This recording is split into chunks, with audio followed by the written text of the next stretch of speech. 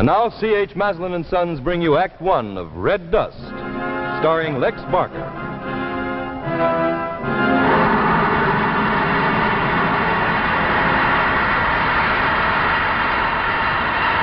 Well, we're off again. On our way home. First men to reach Alpha Centauri. The first men to reach a solar system outside our own and live to tell it. Except the two of us we left buried back there under that red dust. Look, Charlie, before you start crying about Kelly and Schwartz, remember we've got a long way to go before we reach Earth. So save your tears till then. You may need them for yourself. That's being very realistic. I'll bet the doc's so wrapped up over what we found down there that he wouldn't care if we ever got back. On the contrary, I'm very anxious to get back. Alpha Centauri had a remarkable civilization, centuries in advance of ours. We'll benefit beyond measure from this accumulation of its knowledge we're bringing back. Makes us look like babes, huh? I'll never forget it. Those great, magnificent, shining cities. Yes, but no life. How weird. Completely deserted. Everything dead. Covered with that strange pink dust. They must have all died down there in some epidemic. And the dust just settled.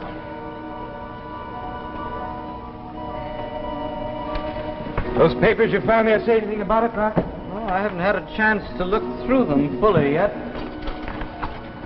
Say, where'd all this dust come from? We must have picked some of it up before we left. I thought we cleaned up the ship thoroughly. We were so careful. Let's see. It's that red dust from Alpha. It's all over the place. Boy, will I be glad to get back to Pittsburgh. Yes, it's the same dust that was covering Planet A. Strange how persistent.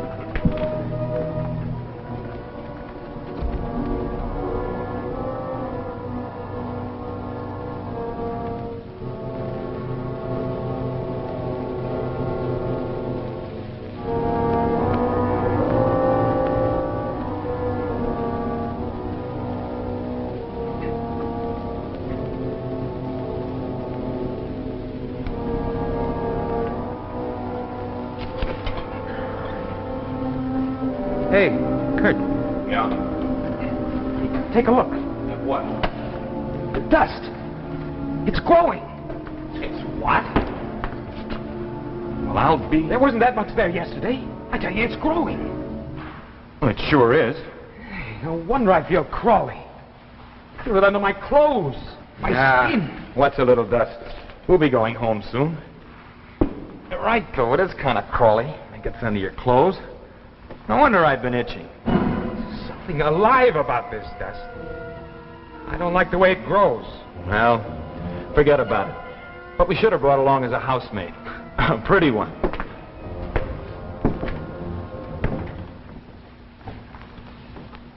It's a good thing we'll be getting back to Earth again in a few days before this dust gets any thicker. The rate it's been spreading, in another week we'd have to fight our way through it. Time for the shots again, Doctor.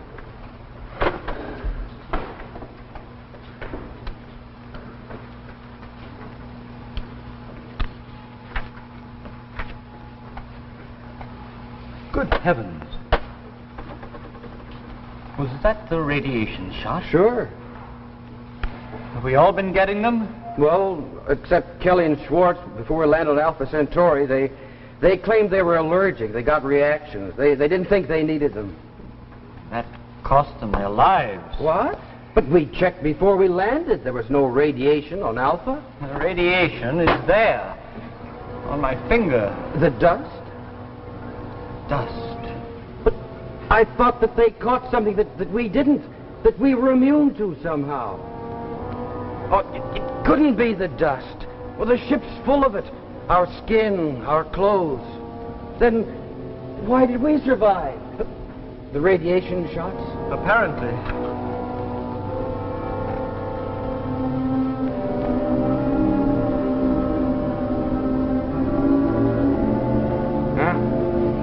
So far, no good. Frankly, now, when we signed up for this little thing, who would have thought that we'd make it there and back without a hitch? I don't think I even thought about it. Hey, Charlie. Can't you and the doc do something about this dust? I'm getting awful itchy. Time for the shots. Radiation shots again? Ah, that's more hogwash. What do we need them for? We're going home soon. What do we need them for, anyway? They just saved your life, that's all. They what? The doc just found out what killed Kelly and Schwartz. It was radiation disease. Caused by that pink dust. Oh, you're kidding. You mean this stuff? Hey, that's right. They didn't take their shots. It was the dust after all, and the reason we're alive is because of these shots. Ouch! Take it easy, Charlie. It's not my fault that Kelly and Schwartz didn't get their shots. Don't joke about it. Hey, Charlie. We're just as upset about this as you are, but there's nothing we can do about it now. Yeah, they knew when they came along what the chances were. Two men lost on an expedition like this, that's not so bad. Not when you consider that they didn't even survive, the first bunch didn't even survive the takeoff. What you've got to do, Charlie, is think about yourself. Concentrate on you. Yeah, you're just like the doctor. You don't care about anything but yourself.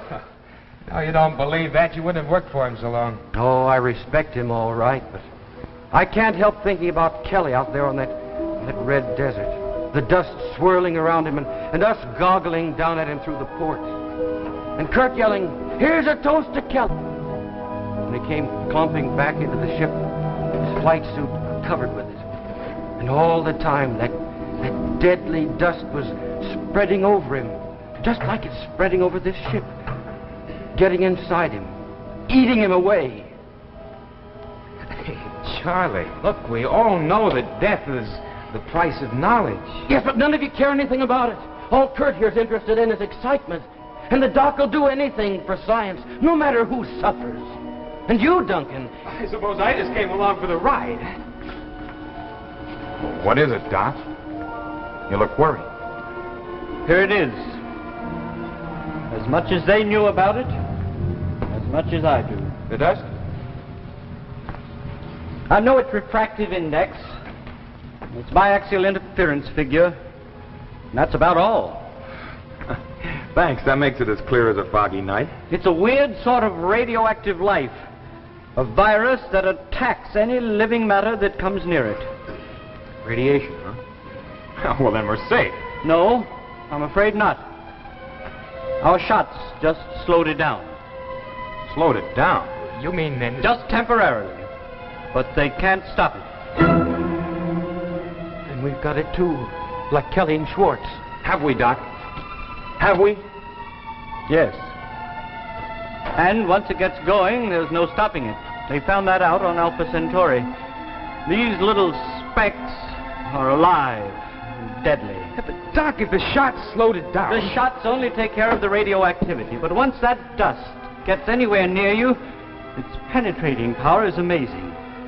Tiny crystals settle in every cell of your body and begin to grow and radiate. Blocking off the radioactivity only seems to prevent quick death. It seems to have no effect at all on the growth of the crystals. And once they come anywhere near a vital organ, How long have we got? uh, by attacking the radiation, slowing it down, perhaps 10 or at best 15 years. Ten years, ten years to die in, but, but we can't let that happen. You've got to do something. There's nothing I can do, Charlie, not even for myself. But to die like that, waiting for Charlie, snap out of it. that dust searing the life out of us. Charlie, it's just another medical problem for the doc and the boys at Science Center to figure out. They've got ten years to do it in a breeze. They didn't come up with an answer in Alpha Centauri, did they? You're gonna die, Kurt. Big, brave Kurt. You're just like all the rest of us. You try to prove all the time that you're better, but you're gonna die. Kurt, stop it! Can't you see he's hysterical? Well, he had it coming to him. Charlie, you're just tired. Get some rest. Got a grip on yourself. Well, that's the way it's gonna be. What this needs is a drink.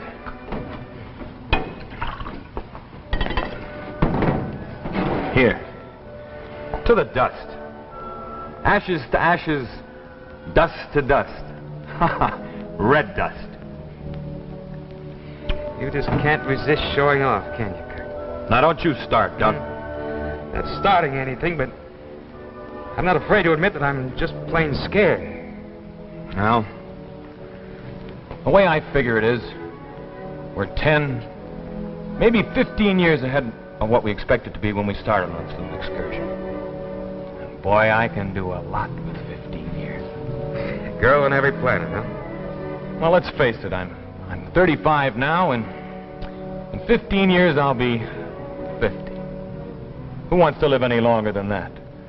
15 years and then Maybe you're right. If they have that much time, our scientists ought to be able to find some way to stop it. Trying to throw himself out the airlock. Go on, Doc. Tell him the rest. The result of our fine expedition. Tell him what we're bringing back. Death to every man, woman, and child on Earth. What are you trying to do, you crazy thing? Get out of here! You don't want to live, I do. Charlie! Mine. That's the ship! That's blood crime! Duncan! Help! Quick! Quick! The airlock! What does that crazy fool do now? What? Threw himself out the airlock. Poor fellow. What do you know? I didn't think he meant it. Guess he just couldn't live with the idea of death. You're both wrong. He said something before he... Do either of you realize what he meant? Well, he was off his beam, I knew that. He said what we were taking back to Earth was death. He was right. What? Listen, Doc. I know you're both tough enough to take this, so I won't sugarcoat the pill. We can't go back to Earth. We can't hear that again, Doc. I said we cannot return to Earth.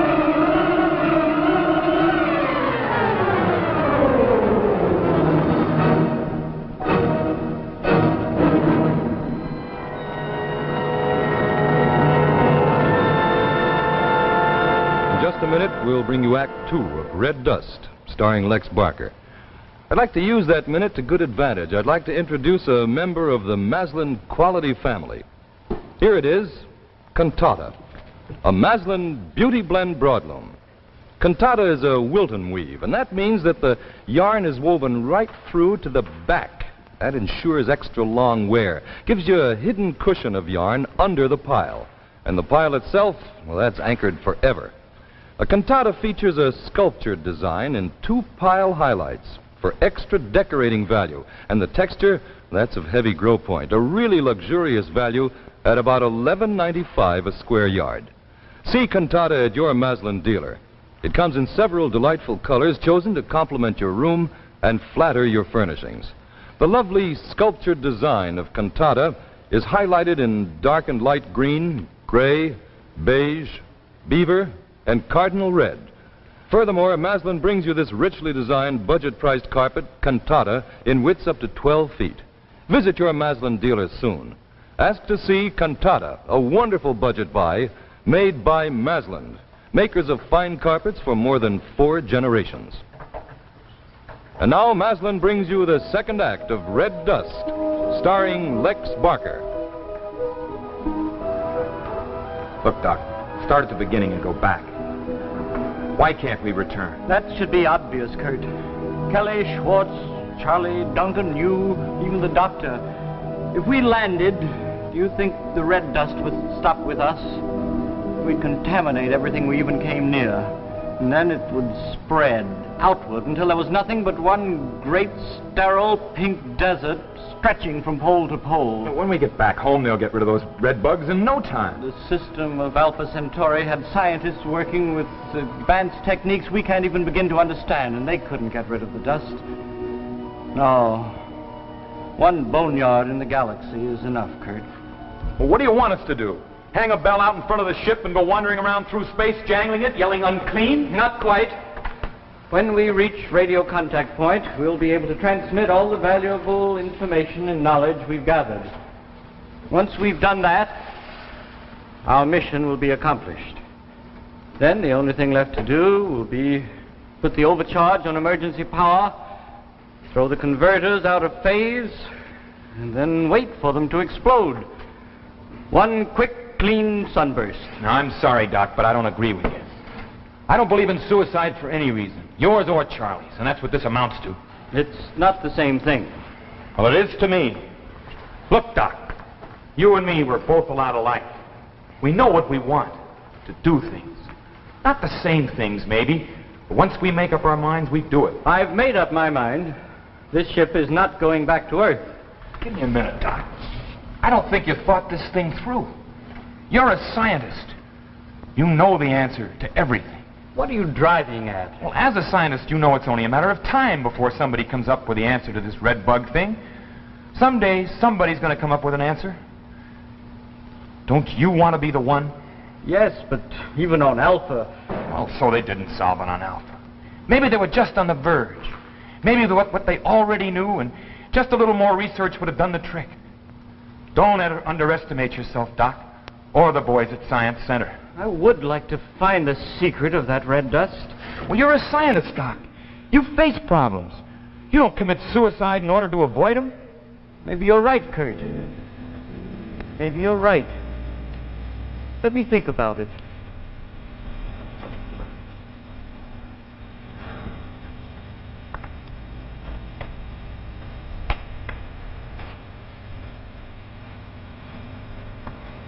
Well, how'd I do, Dunkel boy? Maybe you're right, Kurt. But I don't think so. Look, I just spent a lot of time talking old Davidson out of his screwy ideas. Now I'm not going to waste any more on you. Don't you want to live? Sure. Sure I do. But so does every billion people down on Earth. So with Doc's radiation shots are in the same boat we are. They've got 15 years to live just like the rest of us have.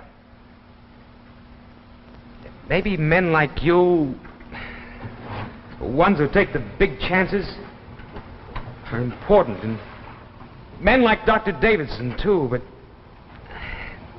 somewhere along the line, the, the others, the, the unimportant ones, have to be considered. Otherwise, what you and the doctor accomplish means nothing. I worry about Kurt Benster. Whether you realize it or not, you've got a bigger responsibility than that. The others may not mean much to you, Kurt, but you can't murder a whole system just to add a few more years to your life. Now you make me laugh, Dunk. That system's not so hot. It can be. It can. be. There's hope. There's. If you take this ship in, there won't even be that. You kill me, Dunk. Here I thought you were so calm, cool. Why, just look at you when you get all worked up. Maybe the doctor will listen to me. I gotta talk some sense into one of you. Hold it, Dunk. Get over there and sit down. What do you think you're doing, Kurt? You can't scare a man who's already slated to die. Yes, but I can scare a man who doesn't want this ship to get back to Earth. Now sit down. What is this? We're just having a little discussion, Dunk and I. Put your gun away, Kurt. I heard your discussion. Now, what'll it be? Kurt, you said you thought we were very much alike in some ways. Well, you're right.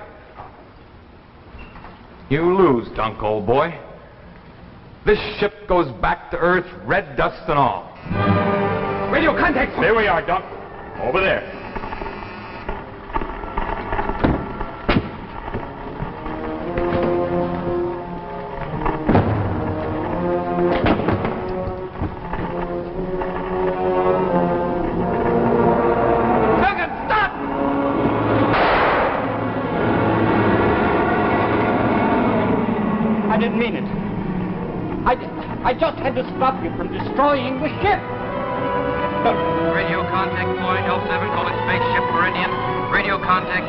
Point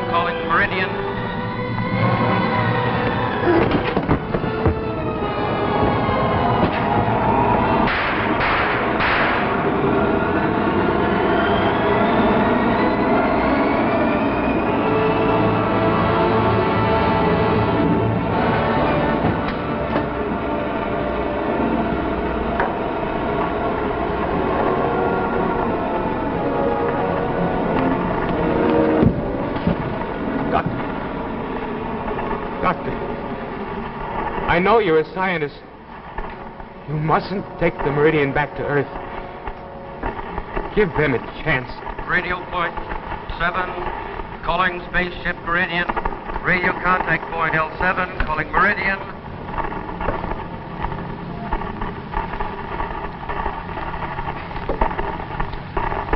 Hello, contact point L7. This is Dr. Davidson, Meridian speaking. The Meridian! She's back! Colonel Wetzel, contact's been made with the Meridian! She's back, she's back. Well, she's back. Give me that mic. Davidson. Hello, this is Wetzel speaking. Yes, Wetzel. Did you make Alpha Centauri? Yes, we made it all the way. Congratulations, wonderful. Anything on it? Cities, big cities, and machines. Wonderful. The inhabitants. Were they friendly? There weren't any. Information is in my notes and documents. Can't wait to see them. When will you make contact? I have information to transmit. Now. Now. Hold it, hold till you Now! Okay. Fire when ready.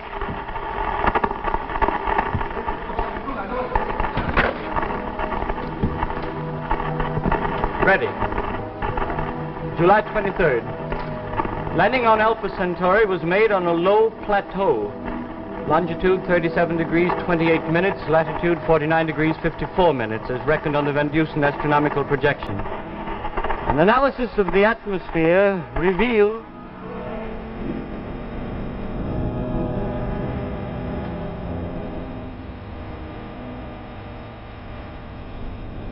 Actually, tissue destruction reaches the point where death is inevitable. Furthermore, there is little possibility of developing a curative agent within the estimated 10 to 15 year margin between first contact and the complete destruction of all terrestrial life. Dr. Davidson? Dr. Davidson, are you still there? Yes, I'm still here. That is the sum of our information. I'm sorry that we will not be there to see the results of this expedition, but the scientist is also a member of the human race, with responsibilities toward others, which he does not always realize until they are pointed out to him. Davidson, Dr. Davidson, where are you? What's happening?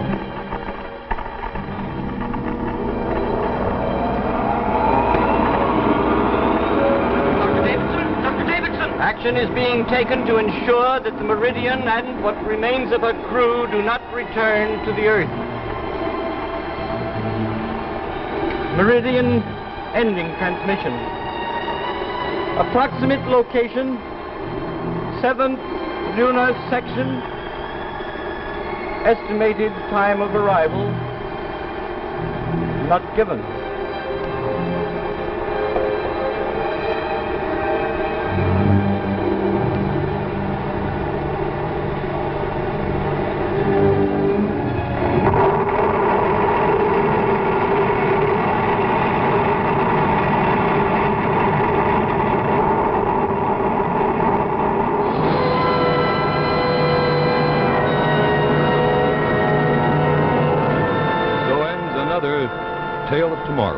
Tonight's tale, Red Dust, starring Lex Barker.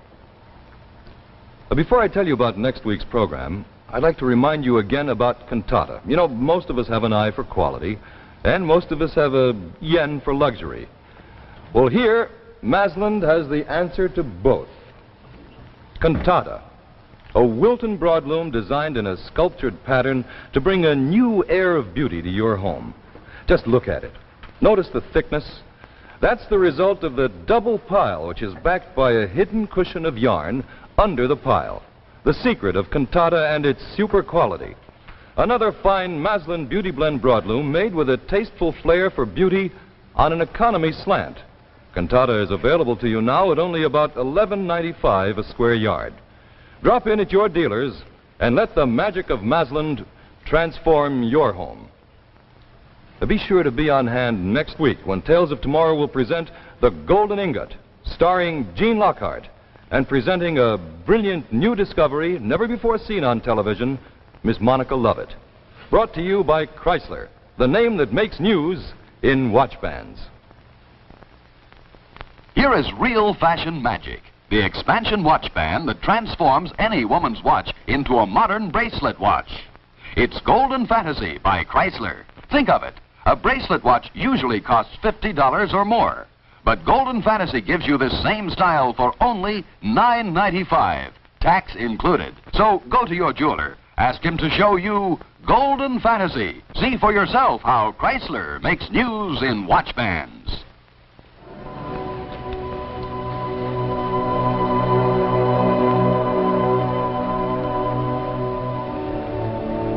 Adapted from a play by Theodore Cogswell.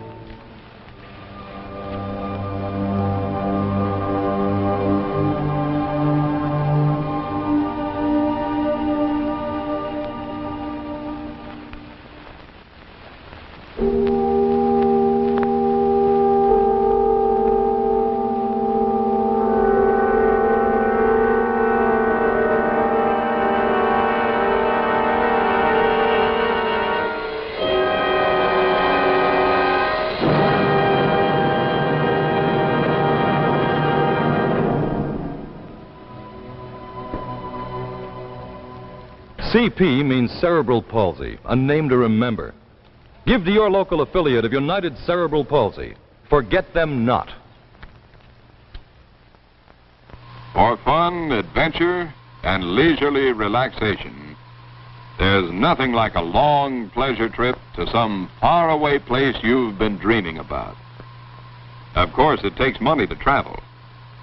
But you can be aboard that pleasure ship in your future if you get aboard the bond wagon today.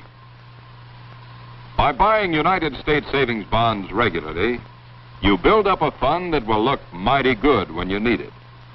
And in the meantime, your money is growing. For every $3 you put into these bonds, in 10 years you get back $4. Make sure you won't miss the boat. Sign up for savings bonds now. The preceding program, originally telecast by ABC in New York, has come to you by special video recording. This is ABC, the American Broadcasting Company.